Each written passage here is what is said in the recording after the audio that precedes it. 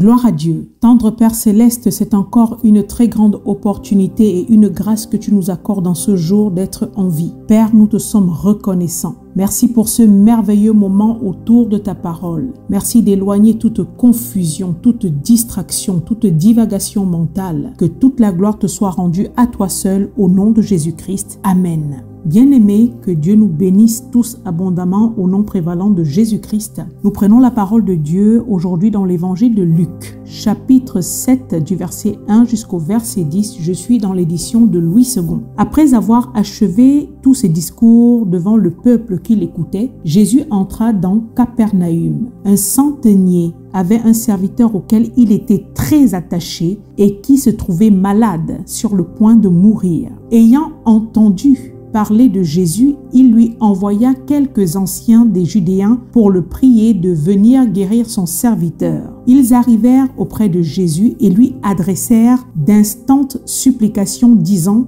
il mérite que tu lui accordes cela, car il aime notre nation et c'est lui qui a bâti notre synagogue. Jésus étant allé avec eux, n'était guère éloigné de la maison quand le centenier envoya des amis pour lui dire Seigneur, ne prends pas tant de peine, car je ne suis pas digne que tu entres sous mon toit. C'est aussi pour cela que je ne me suis pas cru digne d'aller en personne vers toi. Mais dis un mot et mon serviteur sera guéri. Verset 8. Car moi qui suis soumis à des supérieurs, j'ai des soldats sous mes ordres. Et je dis à l'un va, et il va. À l'autre vient et il vient. Et à mon serviteur fais cela et il le fait. Lorsque Jésus entendit ces paroles, il admira le centenier et se tournant vers la foule qui le suivait, il dit, Je vous le dis, même en Israël, je n'ai pas trouvé une aussi grande foi. De retour à la maison, les gens envoyés par le centenier trouvèrent guéri le serviteur qui avait été malade. Que Dieu soit loué au nom prévalant de Jésus-Christ. Bien-aimés, avant de passer à notre moment d'intercession,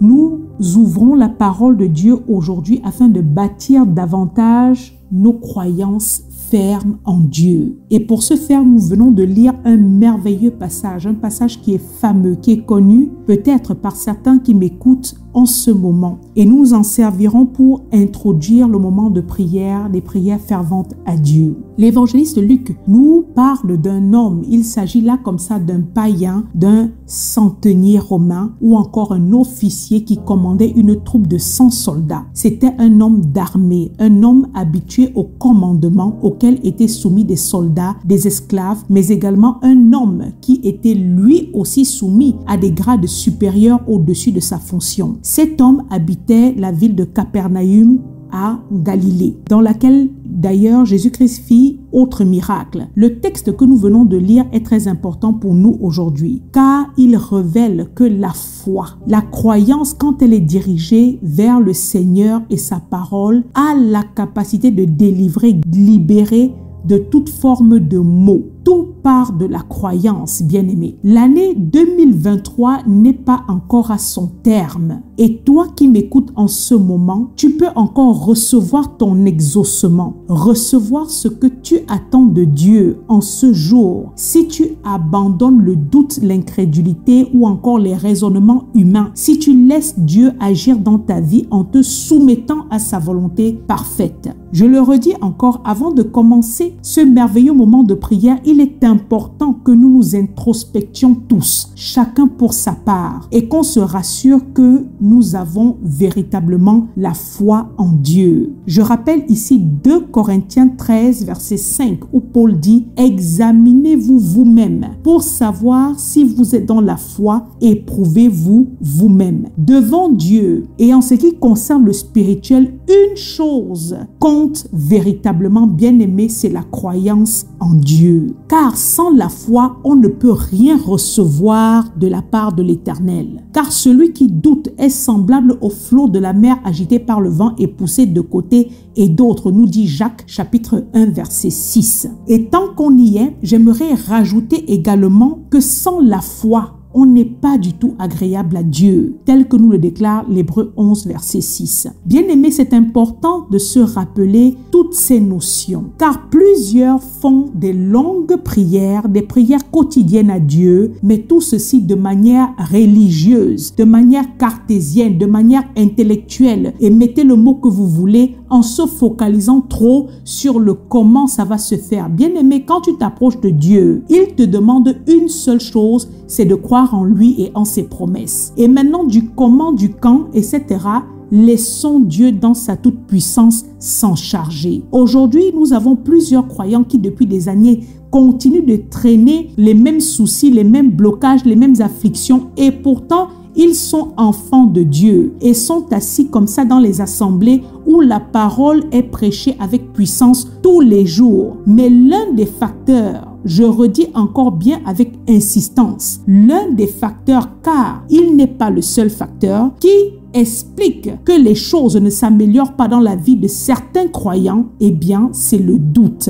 Les croyants écoutent beaucoup la parole de Dieu de nos jours, mais est-ce qu'ils la croient réellement? Plusieurs ne laissent pas la parole de Dieu les pénétrer entièrement, ne se l'approprient pas forcément au point de refuser, de contrecarrer, de lutter efficacement spirituellement contre tous les traits enflammés que l'adversaire leur inflige. Durant les intercessions, parfois nous entendons beaucoup trop de bruit, trop d'agitation, des émotions, des larmes, des cris et autres, contre lesquels je n'ai rien forcément, car en Christ nous sommes libres. Mais est la preuve manifeste de la croyance en Dieu, quand bien même on arrive parfois à déclarer de la bouche que oui, on croit en Dieu. Est-ce que cela est réellement effectif dans nos cœurs? Bien-aimé, Dieu ne ment pas et il veille sur sa parole pour l'accomplir. Aujourd'hui, remettons-nous en cause devant le Seigneur et refusons l'affliction que nous inflige le diable. Relevons-nous car nous pouvons, oui, bien-aimé, toi qui m'écoutes, tu peux y arriver. Tout est possible à celui qui croit, selon Marc chapitre 9, verset 23. Et ce n'est pas par nos propres capacités, encore moins par nos propres puissances ou forces,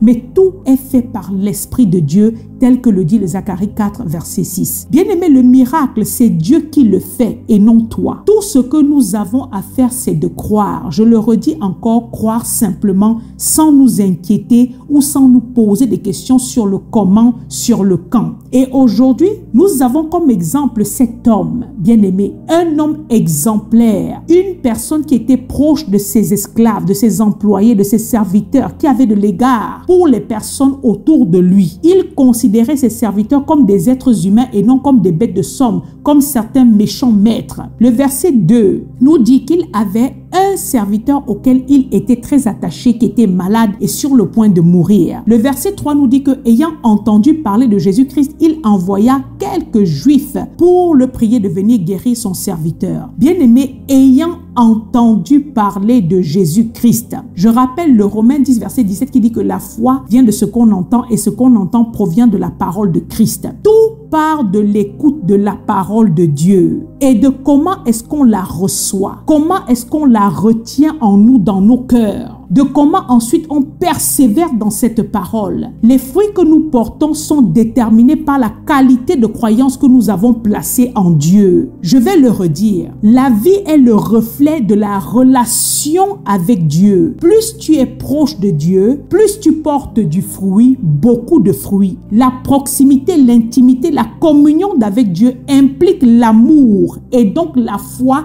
qu'on manifeste en Dieu. Enfant de Dieu, la parole de Dieu écoutée, acceptée, crue est ce qui bâtit ta croyance ferme en Dieu. Cet homme avait entendu parler de Jésus-Christ de ses prédications. Il savait quelle réputation le Seigneur avait. Il avait entendu parler des miracles, notamment dans cette ville de Capernaum dans laquelle il habitait. Il savait au plus profond de lui-même que le Seigneur Jésus-Christ pouvait guérir son serviteur malade qui était sur le point de mourir. Malgré la gravité de la maladie de son serviteur, ce chef d'armée savait que Jésus-Christ seul pouvait le guérir. Bien-aimé, quelle est la situation que tu traverses aujourd'hui? Quel nom porte la montagne qui se dresse devant ta route? Quelle est la maladie qui terrasse ta vie? Les démons qui perturbent ton mariage, tes enfants, qui t'empêche d'accomplir telle ou telle chose, sache que rien n'est impossible à Dieu. Luc 1, verset 37. Tout est possible à celui qui croit. Marc 9, verset 23. Toi qui désires voir la main de Dieu puissamment bouger dans ta vie, approche-toi de lui avec assurance, avec humilité et commence par croire qu'il existe et qu'il est le rémunérateur de tous ceux qui le cherchent, tel que le déclare Hébreu 11, verset 6. Le centenier, face à la situation de santé dégradante de son serviteur, savait que le Christ pouvait faire quelque chose. Cependant, il avait un problème personnel. C'est qu'il se sentait profondément indigne ou encore non méritant, inqualifiable, méprisable, condamnable, mais le mot que tu veux bien aimer, pour aller lui-même se présenter devant le Seigneur Jésus-Christ et plaider en faveur de son serviteur. Et pour ce faire, il envoya quelques personnes, et pas n'importe lesquelles. La parole nous parle des anciens judéens, afin de prier, supplier le Seigneur de venir guérir son serviteur qui était au bord de la mort. Et ça, c'est un détail important. Le centenier romain était certes un païen, mais un païen qui entretenait de très bonnes relations avec son entourage, notamment avec les anciens judéens dont il était suffisamment proche pour leur demander un tel service. Souvenons-nous que les rapports entre les judéens et Jésus-Christ étaient plutôt parfois tendus. On ne peut pas dire qu'ils étaient véritablement des amis ou encore des proches, mais le Seigneur était par eux controversé. La plupart de ces chefs religieux voulaient se débarrasser du Christ. Ils ne l'acceptaient pas, ils n'acceptaient pas sa doctrine. On comprend donc que l'amitié que ce centenier entretenait avec les anciens était une bonne amitié, une bonne entente pour que ces derniers acceptent d'aller faire d'insistantes supplications comme cela est écrit, qu'ils acceptent d'aller plaider auprès de Jésus-Christ pour la guérison du serviteur de ce centenier. Allant dans le même sens, bien aimé, il est bon de retenir que quand on est face à un défi de santé, quand on a à nos côtés une personne qui ne va pas bien, tant psychologiquement que physiquement, tant spirituellement que physiquement, bien aimé, le réflexe premier, juste à avoir avant d'aller à l'hôpital, parce que nous ne sommes pas contre la médecine, doit être celui de l'amener au Seigneur. Les personnes qui sont dans la peine ont besoin d'intercession, ont besoin de prières ferventes, de prières pointes de notre part. Rappelons également ce que les quatre amis qui portaient le paralytique ont fait. Ils sont allés jusqu'à ouvrir la toiture d'autrui, quitte à faire descendre leur ami pour qu'il ait accès au Seigneur Jésus-Christ. La qualité de notre foi et de notre amitié se mesure à celle de notre prière. Si nous prions peu, c'est que nous avons peu de foi ou alors peu d'amitié. Quand on dit aimer une personne facilement, spontanément, on est apte à intercéder pour cette personne, afin que cette personne soit tirée d'affaire. Le centenier romain aimait le judaïsme au point de construire une synagogue. Les anciens ont dit à Jésus, il mérite que tu lui accordes cela, car il aime notre nation. Et c'est lui qui a bâti notre synagogue. Il notre nation. Bien aimé, les relations entre les Romains et les Judéens de l'époque n'étaient pas toujours au beau fixe. Mais le cœur de cet homme, le cœur bon de cet homme, même envers ceux qui n'étaient pas véritablement amis de sa nation, lui valut le bon témoignage. Bien aimé, les œuvres, les services rendus de ce centenier lui ont valu le bon témoignage de la part de ses anciens auprès du Seigneur Jésus-Christ. Bien aimé, toi qui m'écoutes en ce moment, comment est ton témoignage? Le témoignage, c'est quelque chose de très important que nous devons soigner. Nous devons veiller au témoignage que nous laissons auprès des autres. Car grâce au témoignage, nous pouvons avoir des portes qui s'ouvrent dans nos vies. Aujourd'hui, nous sommes en face de l'exemple d'un païen, d'une personne qui n'était pas dans les synagogues en train de prier avec le reste, mais qui par son comportement, ses œuvres répandait de l'amour appliquant ce que la parole de Dieu dit, au point de construire la synagogue de Capernaum, bien connue par le Seigneur Jésus-Christ, puisque c'est dans ce bâtiment qu'il fit le premier miracle décrit dans cet évangile de Luc, à savoir la délivrance d'un homme possédé. Je vous laisse la référence en Luc chapitre 4 du verset 31 à 37. Jésus-Christ, il est dit, s'en alla avec eux après avoir entendu le bon témoignage de ce centenier. Il a suivi les anciens, nous dit le verset 6. Et je rappelle encore ici que à l'époque, un Judéen n'avait pas le droit de mettre pied dans la maison d'un étranger au risque de devenir lui-même rituellement impur. Et ce centenier romain savait très bien cette règle, puisqu'il avait l'habitude de côtoyer la communauté judéenne. Voilà aussi pourquoi il ne se présenta pas lui-même en personne devant le Christ pour plaider en faveur de son serviteur. Il se sentait mal à l'aise d'infliger cela au Seigneur Jésus-Christ. C'était considéré comme une humiliation. Nous le lisons également dans le livre de Actes des Apôtres parlant de Pierre, à qui il fallut non seulement la visite d'un ange, une estase, une interprétation pour qu'il accepte de mettre pied dans la maison d'un autre centenier bienveillant, je nomme Corneille. Le centenier, voyant que le Seigneur venait vers lui, il a envoyé ses amis pour dire Seigneur, ne prends pas tant de peine car je ne suis pas digne que tu entres sous mon toit. Le Seigneur était en chemin pour aller entrer dans la maison de ce centenier. Et ce centenier, le voyant arriver au loin, il est venu devant lui lui dire, Seigneur, ne te mets pas en porte-à-faux avec la loi à cause de moi. Ne te mets pas en danger, ne te crée pas des problèmes avec tes convictions religieuses à cause de moi. Parce que je ne suis pas digne, je ne le mérite pas, je ne mérite pas que tu rentres chez moi. Bien aimé, nous voyons ici comment le témoignage d'une personne est important. Tandis qu'au verset 4, ce sont les anciens qui sont allés dire au Christ qu'il le mérite. Il mérite que tu fasses cela pour lui, que tu lui accordes cela. Lui-même, le propre concerné, se sent indigne, non méritant. Voilà un bel exemple d'humilité. Je viens nous rappeler de demeurer humble dans la vie bien-aimée. Paul demande encore dans Romains chapitre 12 verset 3 de ne pas avoir de soi-même une trop haute opinion, mais de revêtir des sentiments modestes. Cet homme faisait le bien quotidiennement, au point où il a même construit le temple, mais n'a rien mis de tout cela en avant face au Seigneur Jésus-Christ et est resté dans l'humilité. L'humilité précède la gloire, bien-aimé, comme dit le proverbe 15 verset 33. Quand dans la vie on s'abaisse, c'est Dieu qui nous élève. La dignité de ce centenier provenait de son humilité et du fait qu'il ne se sentait pas digne que Jésus-Christ rentre dans sa maison. N'entre pas sous mon toit, Seigneur, mais dis un mot et mon serviteur sera guéri. Car moi qui suis soumis à des supérieurs, j'ai des soldats sous mes ordres. Et je dis à l'un va et il va, à l'autre vient et il vient. Et à mon serviteur fait cela et il le fait. Ce centenier connaissait la puissance qui se dégage de la parole. Il avait compris également l'autorité de Jésus-Christ